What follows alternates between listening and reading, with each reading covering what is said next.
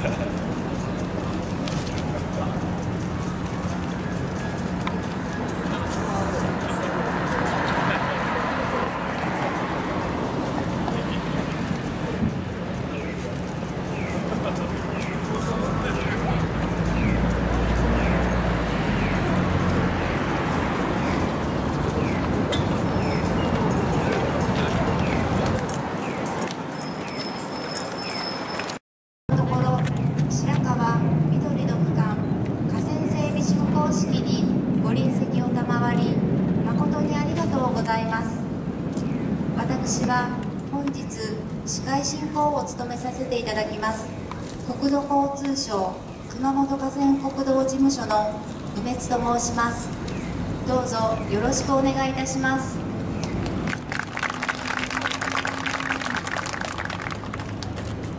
それではただいまより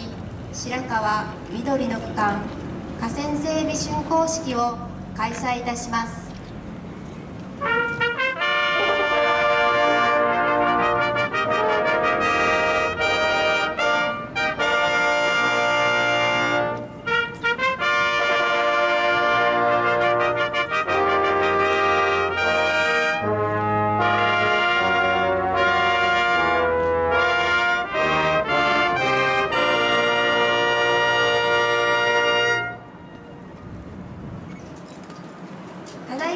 ンファーレは熊本工業高等学校吹奏楽部の皆さんでした。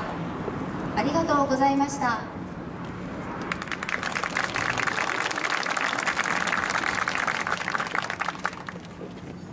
まずはじめにスシャンサを代表いたしまして金尾健二九州地方整備局長が式辞を申し上げます。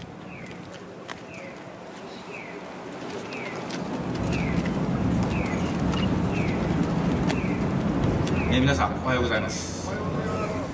本日の進行式にあたり一言ご挨拶を申し上げます。ご臨席の皆様方におかれましては平成国土交通行政の推進に対しまして格段のご支援とご協力の賜り厚くお願い申し上げます。本日ここに白川緑の区間河川整備竣工式を開催いたしましたところご多忙の中会より衆議院から野田武先生木原稔先生参議院から松村義文先生馬場誠司先生熊本県より久保島知事県議会議員の皆様さらに市議会議員の皆様貴重な時をご提供いただきました地権者の皆様や関係する地域の皆様などご支援ご協力をいただきました多くの皆様のご臨席を賜り心より感謝を申し上げます。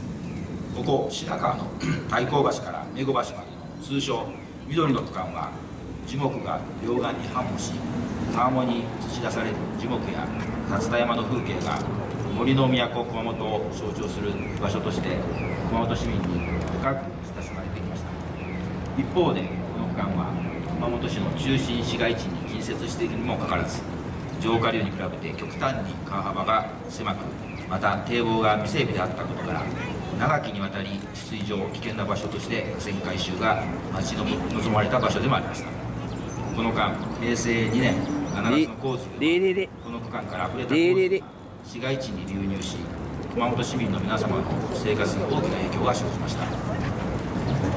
この緑の区間の河川整備におきましてはこの場所の景観を守りたい大事にしたいとの思いを持たれている多くの方と長い時間をかけて会話を重ねさまざまな意見や知恵をいただきそれらを反映しながら事業を進めてまいりました。その結果治水と環境景観が両立し政令指定都市となった県と熊本市にふさわしい整備ができました。これもひとえにこの区間の整備に深い関心を寄せていただいた多くの皆様の熱意の熊本でありここに深く敬意を表するとともに両地区で協力をいただいた皆様に感謝をしています。この生まれ変わった新しい緑の区間が今後も熊本市の象徴的な場所として長く市民の皆様に愛され続けることを期待しています。さて平成24年7月の九州北部豪雨の際には